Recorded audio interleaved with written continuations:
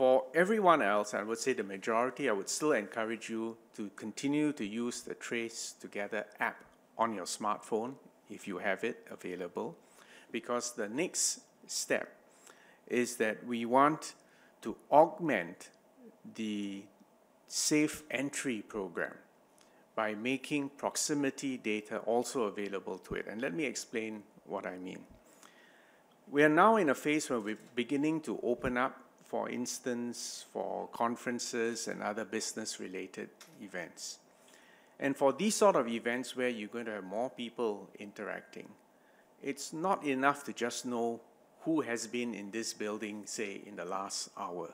You actually want to know of that group of people who happen to be in the building, who actually has been in close proximity to each other. In order to have that level of granularity, you do need proximity data.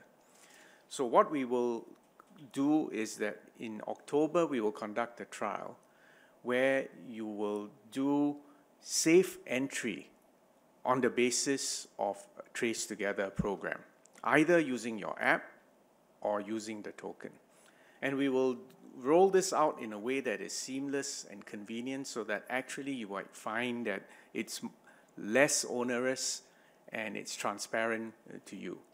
Now, I need to emphasize that putting together these two functionalities, which is venue and proximity, will still protect the privacy of the person, but it will enhance the level of protection for the people concerned.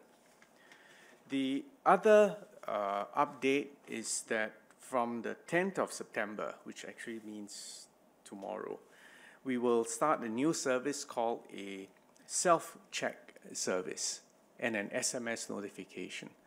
That is for people who have used SafeEntry, and if we subsequently discover that a person who is tested positive for COVID-19 has been in the same SafeEntry venue as you. Uh, if we believe that you're a close contact, we will contact you anyway. But if not, and you're just concerned and you can't remember, you can, you can subscribe for a service which will notify you where that you happen to be in the same place at the same time, though not necessarily in close proximity.